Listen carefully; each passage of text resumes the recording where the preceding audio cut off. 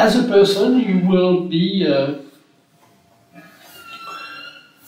involved in different uh, social organization. Could be your town, your family, uh, your startup, your organization, your ONG, and uh, you will have different type of influence. Now the question is coming to the democracy and the political representation and the question of that.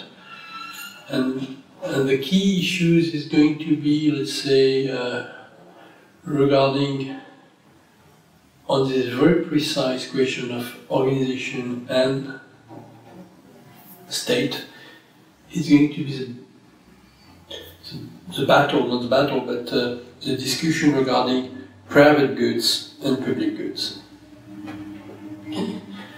And how we are going to be, let's say, altogether to manage public goods and private goods. If you look even today uh, at some countries, uh, Kazakhstan, for instance. Kazakhstan is a small outfit country, okay, like with a lot of oils and gas, okay. Uh, oil and gas is public goods. Is a world public goods? Or is a Kazakhstan public goods? Or is a Gazprom whatsoever private goods? So challenge is there, okay? And uh, let's say battle are going to take place in that direction. In the meantime, and we are talking about energy, energy is critical.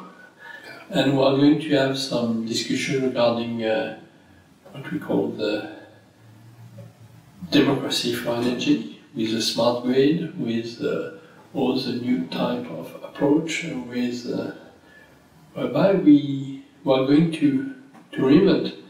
Nevertheless, we have, as uh, said my friend uh, Joël Dorothée, you have the lobbies, and the seven lobbies, you know, the finance, drugs, uh, weapons, uh,